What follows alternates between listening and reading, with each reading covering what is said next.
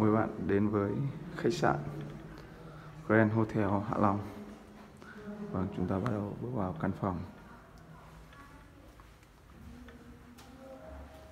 À, Phòng vệ sinh. Bên trái là phòng tắm. Đó Chỗ giờ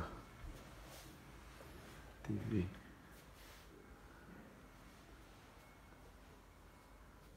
rất đầy đủ tiện nghi trang thiết bị.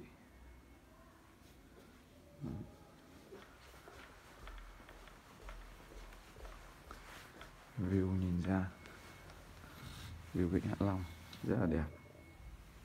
Đó, các bạn thấy không? Đó.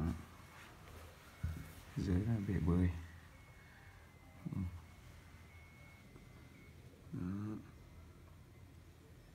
rất là tuyệt vời